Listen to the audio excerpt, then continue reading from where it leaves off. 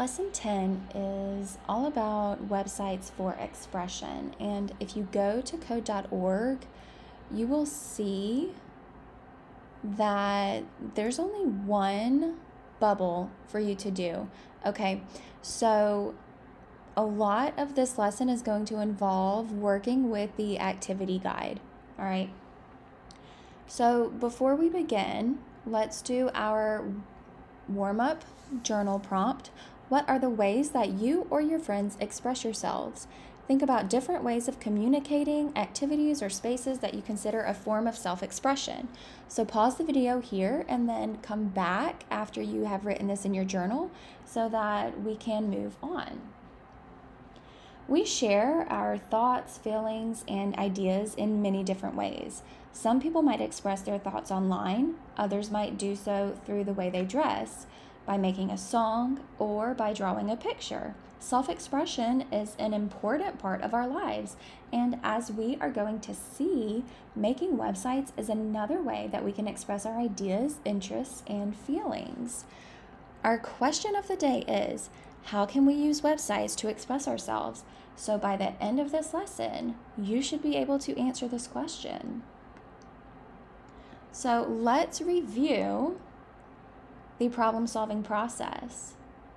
Although we don't usually think about self expression as a problem that we need to solve, we can use the problem solving process to help us express ourselves with our web pages. And in this lesson, we are going to define the problem that our web pages will solve.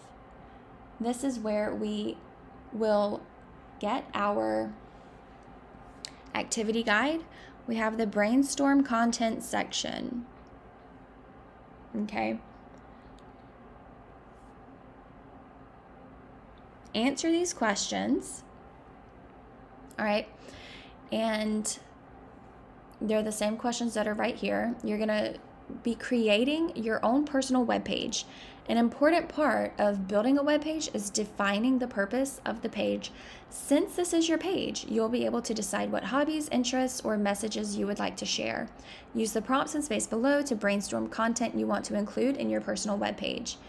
What are things you like to do for fun? What are things you know more about than other people? What are things you care about in your school, your community, or even the world at large?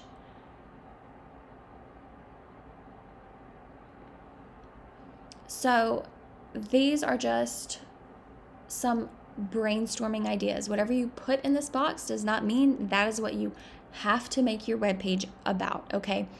And if you go back and think about your digital footprint activity, make sure that you're not really including a lot of personally identifiable information. Like on your website, you don't need to include your age, where you live, your phone number, your email, where you like to hang out after school. You don't want to include anything that could possibly lead to you getting stalked and kidnapped. So make sure that you're very general with personal information. Okay. Let's look at this bubble on code.org.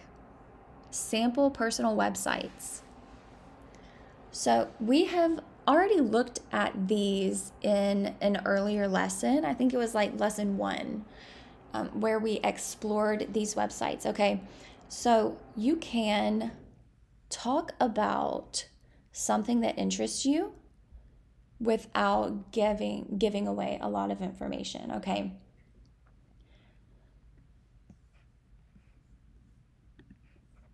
so choose one topic from the list that you put in here and explain what the purpose of that web page will be.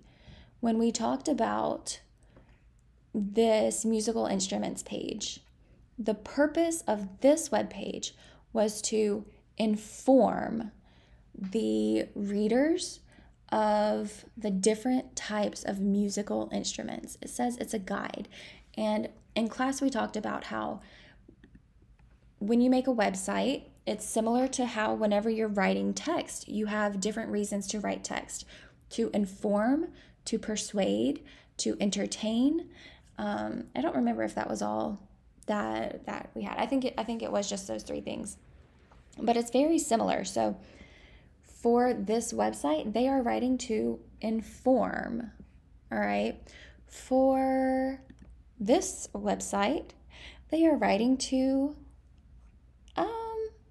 you know, I'm, why would they, I don't know, maybe persuade you that this is the cutest dog? Okay, maybe. All right.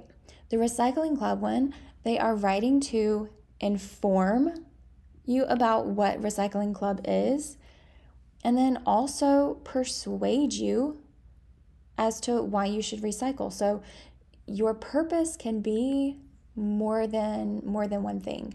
Are you writing to inform people about the dangers of smoking and persuade them to stop smoking? Um, so you have you have a bunch of different options. When you choose the one topic from above, that's going to be what you make your website about. Okay, so come up with as many ideas as you can because it will make it easier for you to choose your topic. All right, and then answer what will make this page special to you? How will you know that your web page is successful?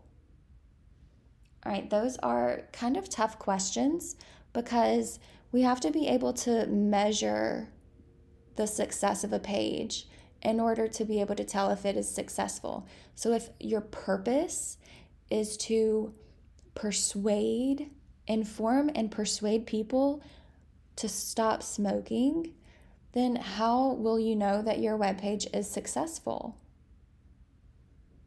How will you know if it has achieved that purpose? So, that might take you a little while to figure out.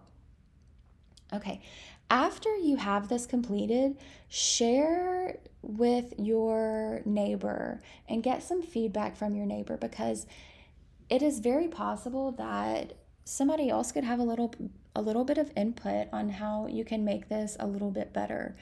And there is absolutely nothing wrong with that. We are always able to improve even on already really great ideas, okay? All right. So we looked at the examples. Okay, share your ideas with your partner. What is interesting about your partner's website?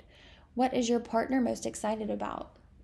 All right, is there anything that you could help each other with? And looking at each other's code once you start coding would be a great thing to help each other with because sometimes there are very minor spelling mistakes that will cause the code not to work at all. And the person coding has been looking at it and doesn't see it. And then somebody else comes over and looks at it and sees it automatically. That happens all of the time, and there's absolutely nothing wrong with that. Okay, so after you finish your activity guide, you're going to turn that in and then come back and do this wrap up journal. It is also a 321. Three reasons your site will be special to you, two reasons your neighbor's site will be special to them, and one thing you would still like to learn how to do in HTML or CSS. Over the next few lessons, we will be working to bring many of your ideas to reality. Some of the content you want to share might change as we go throughout this unit, but the goal of using websites for self expression will be there throughout the entire thing. Okay, so how can we use websites to express ourselves?